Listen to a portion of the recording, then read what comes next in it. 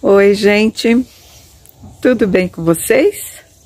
Espero muito que sim, que estejam todos bem e sejam todos muito bem-vindos aqui no canal Celebrando Verde.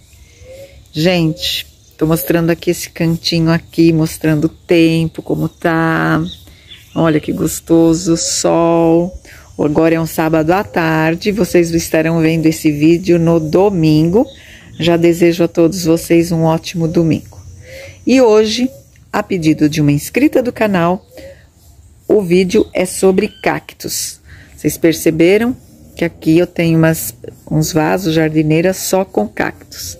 Eu fiz uma composição para facilitar e ficou bonito também.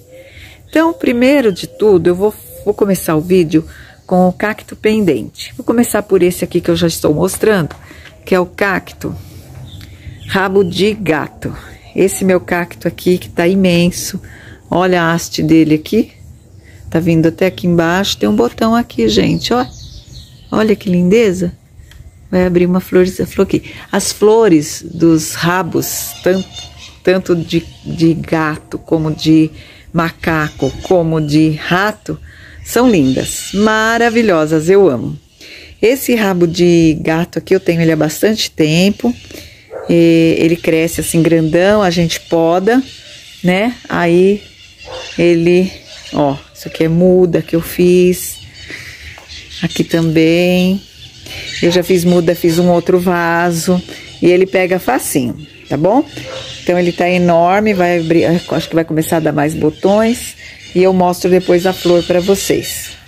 As maritacas querem competir comigo, coisa linda. Olha, então, aqui. Ai, que gracinha. É o rabo de gato. Opa, de rato. E ele tá bem bonito, bem comprido, ó. Tô esperando ele me dar flores. Vamos falar um pouquinho de adubação, de fertilização, né?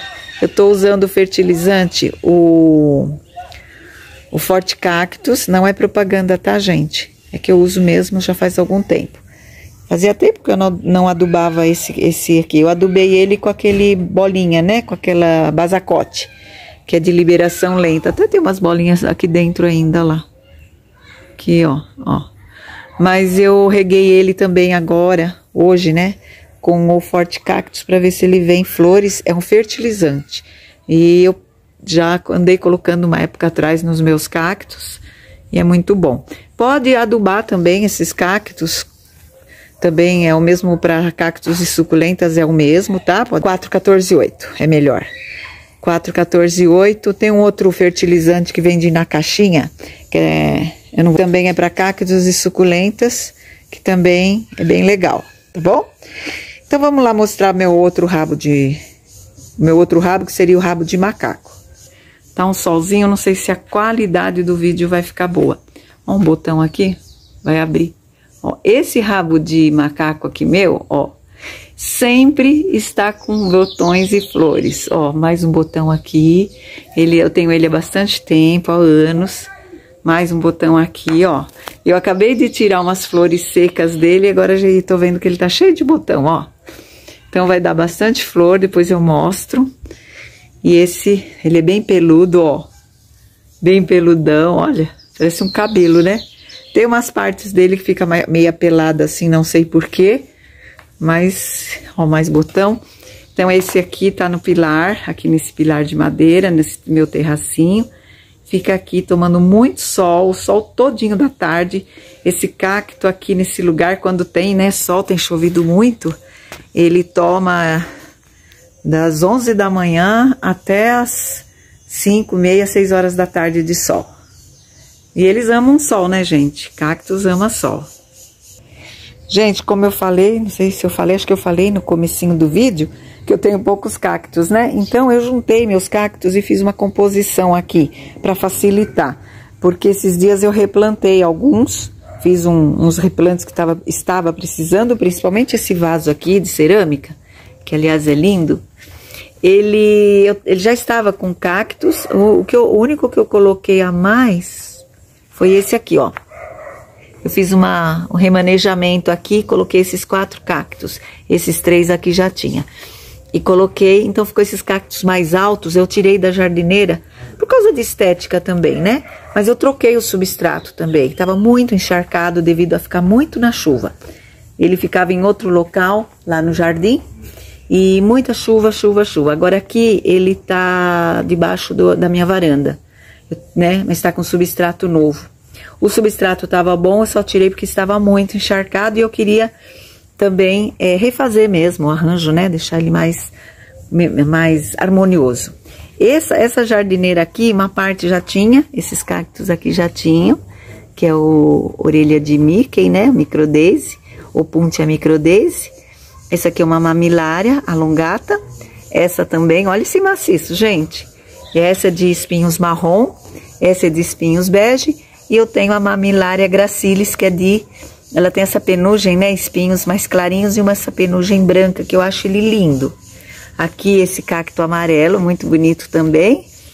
Com os filhinhos aqui, olha.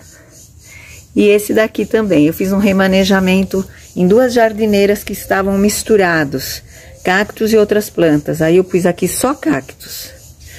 E tirei da, da jardineira, né? Quando eu fiz esse remanejamento na outra jardineira, que ficou lá, eu tirei esse aqui, ó, que estava misturado com outras plantas e cactos. É, esse é o cereus, deixa eu lembrar o nome dele. Na verdade, esse aqui é o Parodiotones. Esse cacto aqui é o meu xodó, ele é lindo. Eu tenho ele há muitos anos, ele é cor de vinho. Se ele fica sem sol, ele fica verde. Quando ele começa a tomar bastante sol, ele fica nessa tonalidade cor de vinho com meio marrom, né? Aqui ele vai tomar bastante sol, inclusive está sol agora, e eu, eu preservei ele um pouquinho da chuva. Aqui ele vai tomar chuva, ele está debaixo da varanda, se fizer uma chuva de vento, porque está na beirada. Então ficou assim. E aqui eu tenho o cacto, que é o melocactus, que é o coroa de frade. Esse eu não mexi, tá na, no mesmo vaso que eu plantei na cuia que eu plantei há anos. Até estou precisando é, replantar esse cacto. Eu adoro ele. Muito lindo, né? Cresceu, ele cresce devagar, ele tem crescimento lento, porém ele até que cresceu bastante. Agora ele está sem florzinha, as florzinhas dão aqui em cima e eu quero mexer nele também. Uma hora eu tiro ele daí, mas ele tá numa cuia, ele, ele gostou dessa cuia, ele foi, está indo muito bem. Aqui do lado não é cacto, parece, mas é aquela aloe aculeata. Eu tenho outra dela, essa tá num, numa jardineira com outras plantas, porque não é cacto, mas eu pus junto aqui, porque eu achei que ficou bonito. As jardineiras, tudo dando volta, as plantas, né? Em volta aqui do pilar. Tá bom, gente? Então, é isso. Outra dica, né, para quem não sabe, cactos, eles gostam do mesmo substrato que a gente usa para as suculentas. E no caso esses aqui que eu replantei, eu usei, eu pus um pouco de areia. Eu tenho areia aqui em casa limpa. Aí eu fiz o mesmo substrato de suculentas, porém eu coloquei uns, uns dois copinhos, né? Pela quantidade que eu fiz, de areia. Não tem medida certa, viu, gente? Coloque um pouco de areia aí que vocês acharem que, que precisa, que nem uma jardineira como essa aqui, que não é muito grande, né?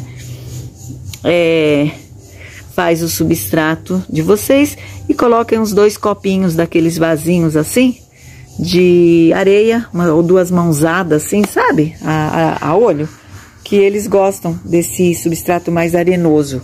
Esse eu fiz assim e pus até areia aqui por cima, ó. Depois eu pus pedrinhas de construção, brita aqui também, que eu acho que combina com esse ambiente de cacto, né? Tá bom? Então é isso, gente. Aqui, esse fiz uma casinha. Essa casinha aqui eu tirei ela do tempo também, eu vou pintar ela. E resolvi pôr ela aqui. Olha que gracinha, gente. Isso aqui não é cacto, mas tá lindo, né? Ana Campiceiro filamentosa nessa latinha, gente. Olha que coisa mais fofa do mundo. E eu tirei ele lá, ele tava num lugar muito sombreado.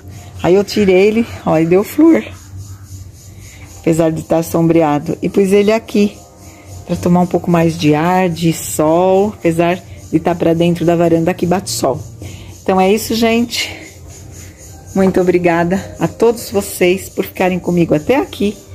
Espero que vocês tenham gostado do meu vídeo mostrando meus cactos, que são poucos, porém lindos. eu acho, né? Que são lindos. E é que assim, o meu cultivo, eu gosto mais de suculentas. Então, o meu cultivo maior é suculentas, né? Mas também não deixo de gostar dos cactos. Todos esses que eu tenho, gosto muito, principalmente meu queridão aqui, né? Que, tá, que é lindo de viver. Tirei muda dele esses dias para pôr num outro vasinho. Tá bom, gente? Fiquem todos com Deus. Um ótimo domingo, uma ótima semana. Que Deus abençoe cada um. E até o próximo vídeo. Tchau!